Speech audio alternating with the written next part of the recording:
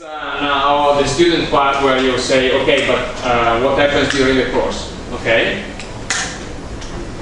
So there is no, there is no, you know, you can do it. Uh, you are very good. Uh, everybody can do it. We are very wonderful. There is no such thing as this here.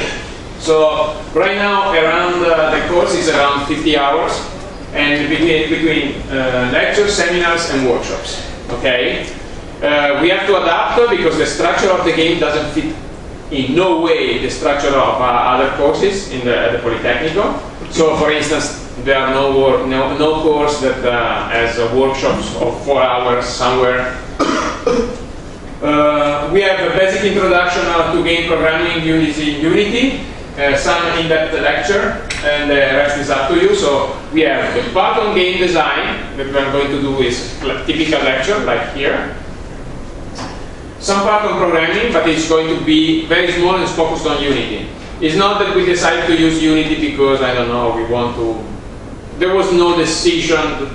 We decided to use one because we couldn't support 10, okay?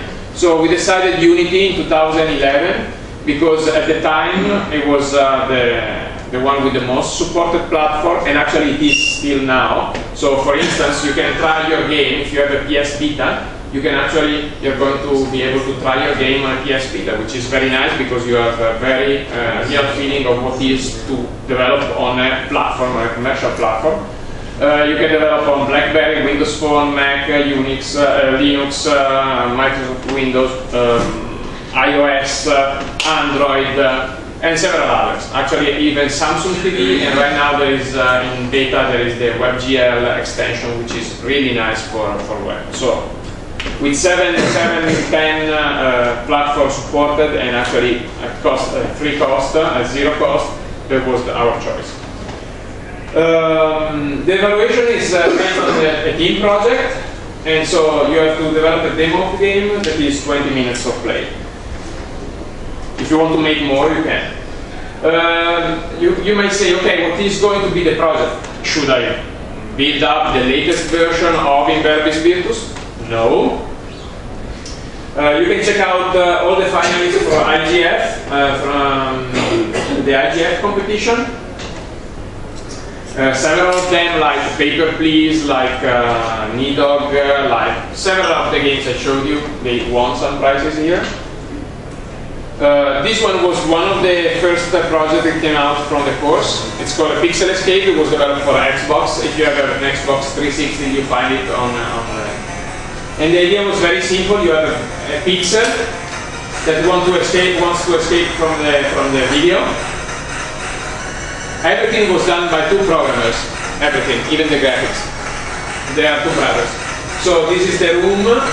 You are inside. You are the pixel. You are inside the screen. You say, well, how can I exit the screen? And there is uh, basically a crack in the screen somewhere. It was in XNA and C Sharp.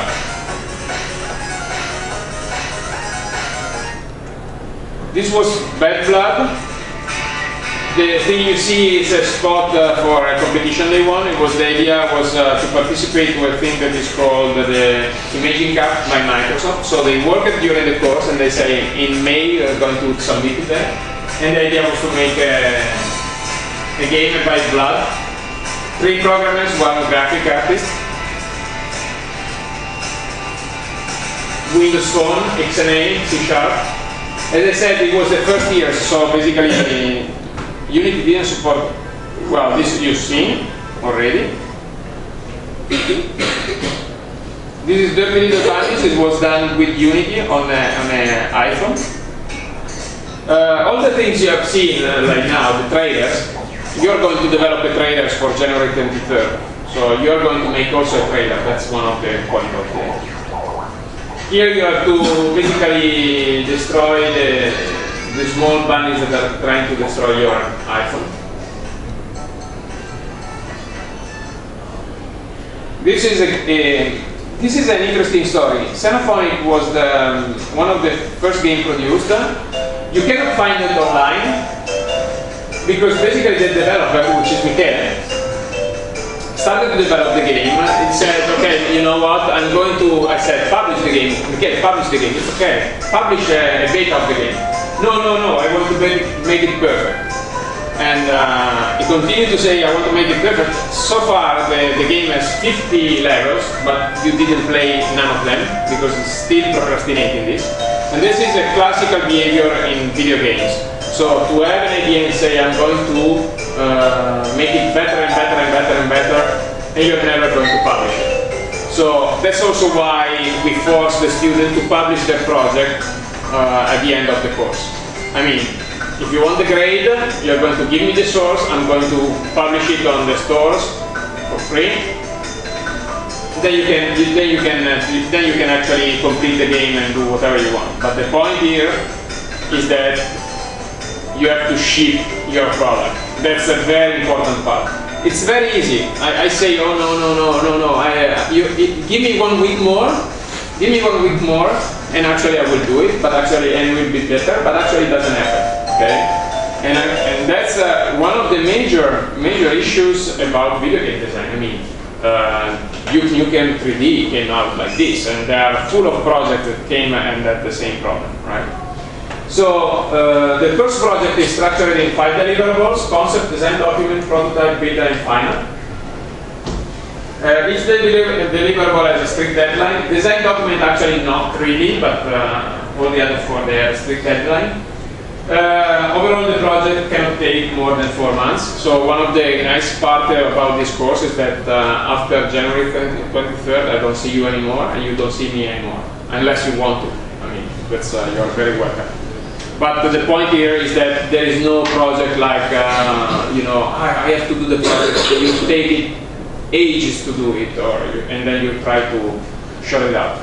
the point here is this, that the game design, actually, the game design uh, process is actually structured in this, uh, in, in, more or less in this idea. So you start with a, a, game design idea, you start to develop the game with your tool, and actually here is uh, done, then you, and you do your thing about uh, your AI in there, and then you continue to develop. So and the idea is actually that you stop on the alpha or beta release of your game. Then there is the 80% of the of the gaming uh, of the production is around here, but is not uh, part of the course because I don't care that you deliver a, a, complete game. I need those 20 minutes that show you your idea. That show you your idea. I don't care about anything else, right?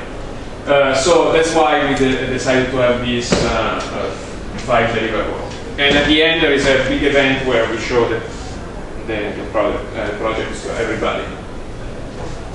So one of the things that, uh, that we tried to do, because it was really weird in 2010 when me and Daniele started to think about this course, so what we should do, you know, and we said, uh, should we do, you know, a typical course with a, kind of a project and then uh, a written exam like uh, when it was uh, introduced Mario and stuff like this. It doesn't really make sense. So we want to create a real, uh, specific, unique uh, experience. So it's more about living the course than attend lectures per se. Uh, we have several people from the big and small, typically big, uh, typically small and tiny companies to be involved in the evaluation and also to come and talk to us. So Friday there is the first presentation. You are free to come and uh, workshops, lectures, everything there is in the course, during the course, that makes the course, you, you can come or not. It's uh, your decision whether you want to make that experience. Uh, typically, it's very nice to meet the people in the development community. And actually, there is a big difference, actually, a very nice difference between big companies and small companies. If you ask a big company, to uh, some guy in a big company, how did you do that?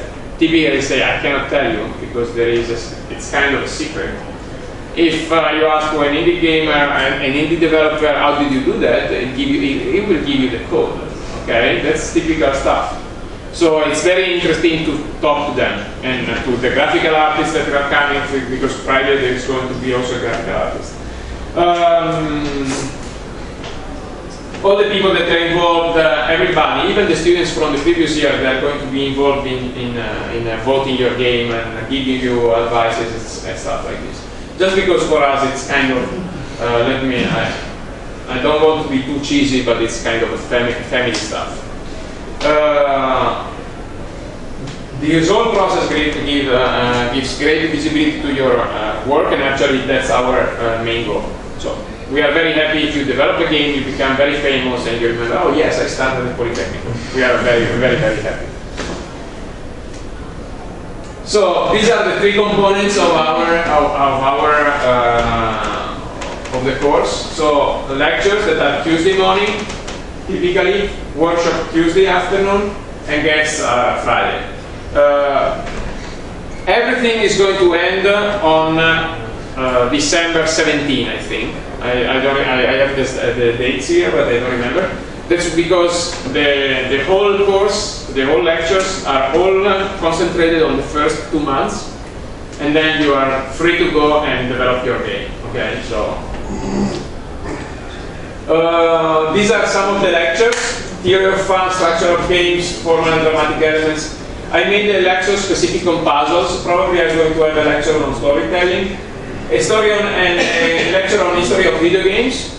Mm, one of the things that uh, really strikes me is that, uh, and it always happened, is that if you look at the people coming to this course, few of you really play and knows uh, uh, games around and try to, you know, play games and stuff. It's very important for you to play games. Okay, it's like really difficult for you to say, uh, I want to develop a game without uh, having the sensibility to understand, uh, given a game, whether that's a good game or not, right? That's the most important part. You must be able to also to understand whether what you are doing is good or bad, or what you should check out in the game, right? So that's uh, the uh, very important part. And actually, history of video games is very interesting because it shows you uh, some of the some of the early games, how they, they, they develop, and I think that if you go back and play the games from Z, uh, ZX, uh, ZX, uh, ZX Spectrum and uh, Atari uh, 2600 and Commodore 64 and you play NES, you play all those games where there are simulators around, emulators around, you're going to have a huge amount of inspiration about it. there are workshops. These are basically what is going to happen, more or less. There is uh, so today. There's going to be a brainstorming event. It's going to be in the building just behind me. Uh, it's not going to be uh, building 23, but it's 24.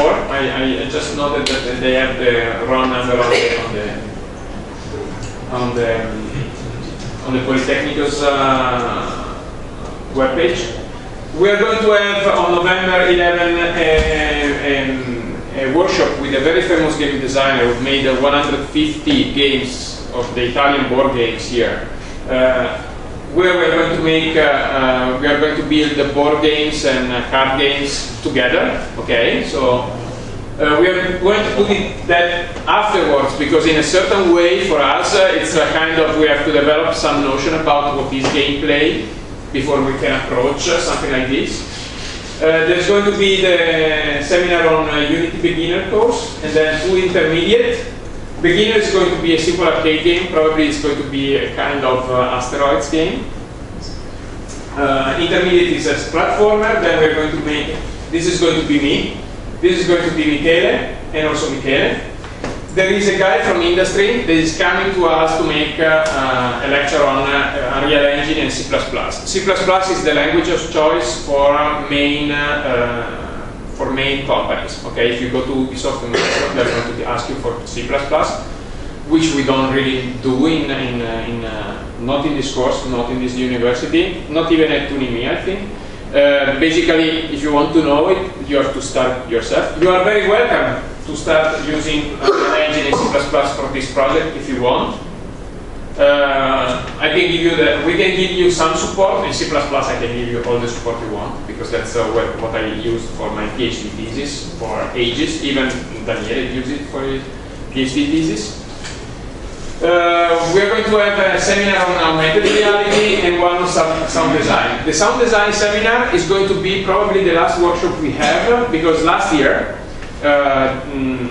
Davide uh, from uh, DP Studios came during the lectures, like one week from now and explain what was uh, about the sound design and how to put the sound into Unity and stuff like this. But actually it didn't work really well, so we decided to have, after the prototype presentation in December, after you show, when you're showing your game, your, your skeleton of the game, you're going to have a sound designer come to you and say, you know, for this type of game, I think that the sound should be like this. And uh, you should put, for instance, if you use a 3D sound, 2D sound, whatever. Okay, so that's going to be the last workshop ever because it's going to help you really during the uh, prototype.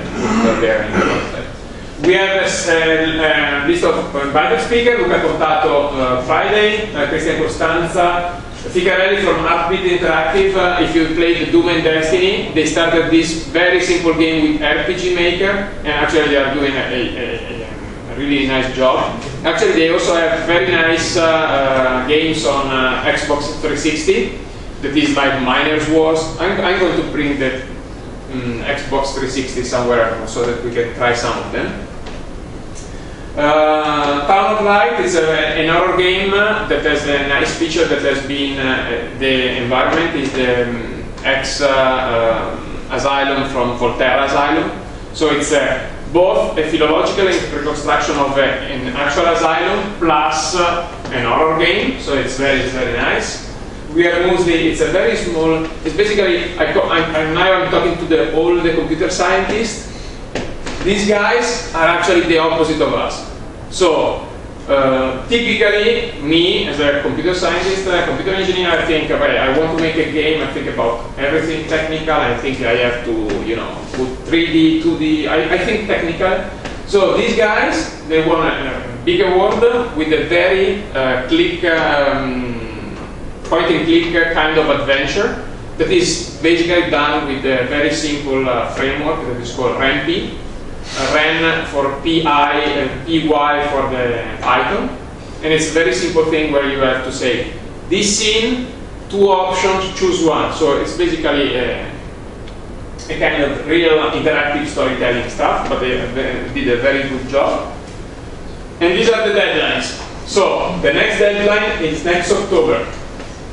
And we are talking about, in the last 20 minutes of this course, uh, we are going to talk about this deadline. So the game concept, everybody must submit one. I don't care if you don't have an idea, okay? Uh, my advice, don't work it right now. So we are going to do the brainstorming stuff, uh, let it go for one week, and October 21st, midnight, you write, you write your proposal. If you have your ideas for one week, you should uh, write your ideas, and, uh, and the ideas, as I say, uh, as I will say later, they come from every, um, from every uh, place you have. So uh, you cross the road, uh, you say, oh my god, I was almost uh, overtaken by the car, overrun by the car, and then you invent Frogger, right? so that's the point. That's, the, that's really the point. You go out, you see an alien that is shooting at you, you invent that's, that's the main issue about this, right? On October 21, I, I, will collect all the all the concepts. You can submit more than one. You can submit 10 concepts, I don't care. We're going to vote until October 28 when the, the winners are going to be announced. The winners, suppose that Andrea or Luca or Susanna have the highest rated concept, the highest, most voted concept, they're going to become team leaders. So it means that you're going to ask Susanna, and you say, I really like Susanna's game. So you're going to say, you know what, uh, Susanna, I'm a very good programmer. Can I, can I come to work with you? And she said, I'm going to use Unreal 4 with C++ and uh, standard template library. Can you do that? say, no. So you, you watch and you go somewhere else.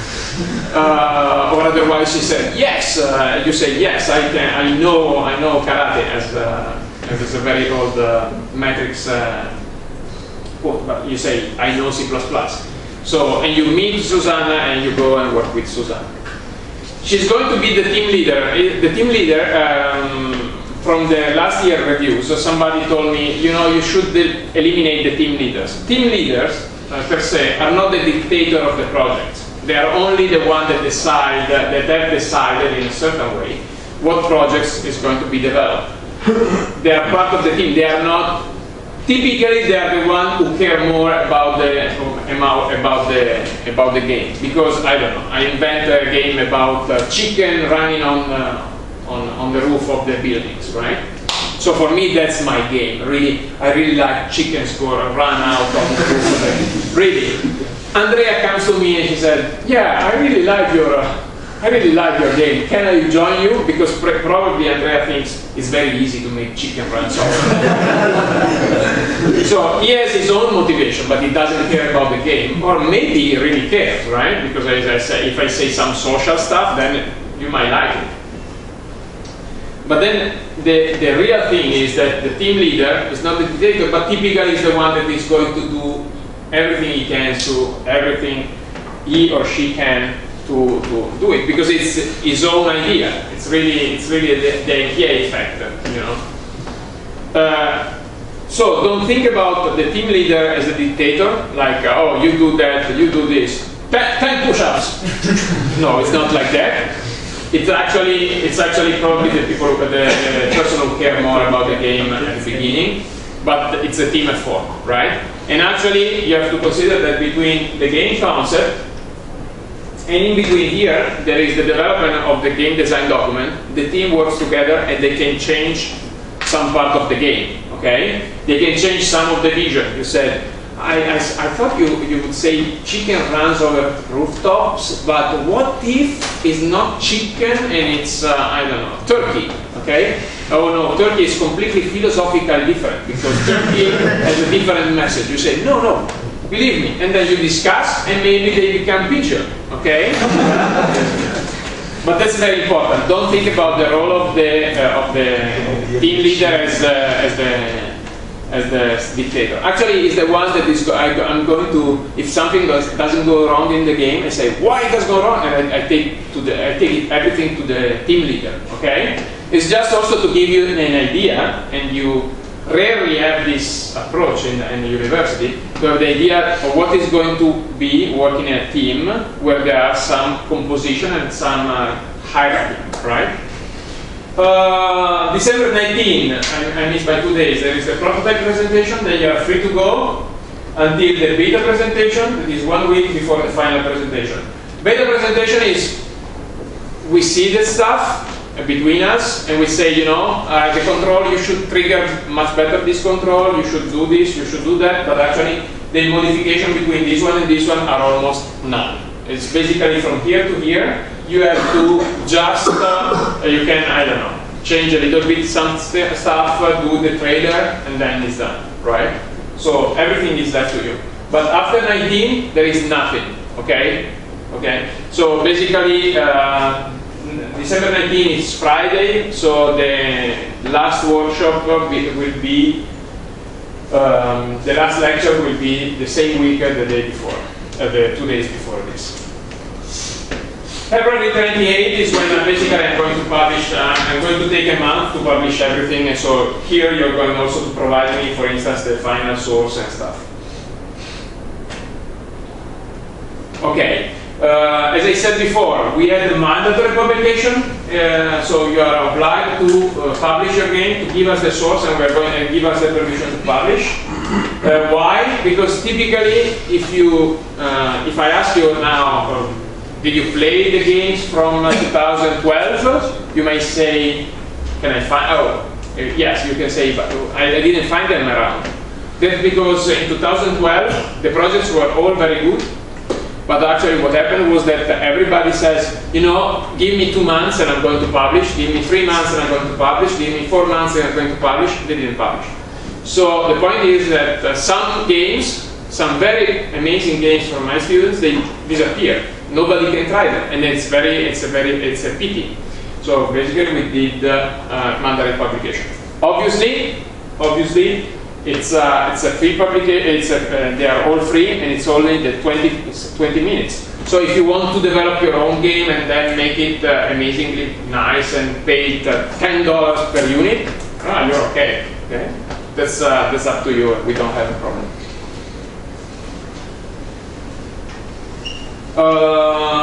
And so, as I said, Uh, we are going to we are going to from time to time we are going to participate to some of the jam if you want. Uh, if you like to join us, we are really happy. There is this global game jam that is going to be uh, January 23rd, uh, January 35th, and the L26 uh, rooms, and there are several other jams. I will send you notes if you want to participate. So, team grades, last part. So each team should consist at most of four people. Uh, three more or less is better. Uh, as I said, everybody proposed one page. Uh, student instru instructors invite the speaker will vote for the base game concepts, and the student who, uh, who propose the concept will build up their teams. Uh, this is the grade. The final grade is the sum of five grades. Game proposal, three points. Whatever crap of proposal you do, you get the three points. It's but you have to do. It's a flag. One is um, it's a yes or no. Uh, you have it's actually four points, four grades. You have six points for a prototype, and uh, basically why we give only six points for the prototypes of the whole grade is because you don't have to fear the prototype presentation. You can fail the prototype presentation; it's not a problem. Okay, it doesn't really uh, really matter. Uh, two thirds of the points are given by the students, one third from the from the instructor. So since we have uh, one point for me, one point for uh, for Daniele, so I give one point over six. Four points are up to you. So look around; those are the people who are going to decide your game. And that's the same for the beta release and the final release. The final release is more or less on the trailer, so you can see I have half a point there. And there is a very nice way that we tuned uh, to make people vote. So even if it's, it's really weird to think that uh, the people around you are going to judge your game, and you know it, it, looks either like oh everybody will try to kill me and uh, give me a very bad grade.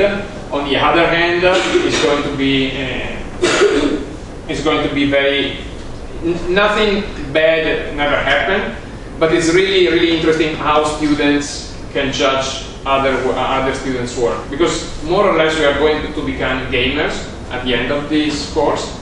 If we are not to become game developers, yet we are going to play a lot of games. So what happens is that we can be really smart in judging games. Okay? And then after the course, you can take some of the other courses that are there. So the next semester at the Unimi, they start the online game design course. That's uh, it's very nice. Uh, it's basically on online gaming. Well, there is data mining, the computer graphics. There are several other other things. Okay. If you think, no, I don't want to do the course now. I want to do the projects outside the course. You can still do it. Uh, but you still have deadlines. It's not that, uh, you know, if you do it during the course, you have four months and the deadlines. If you do it uh, on February, start on February, you're not going to have the deadlines.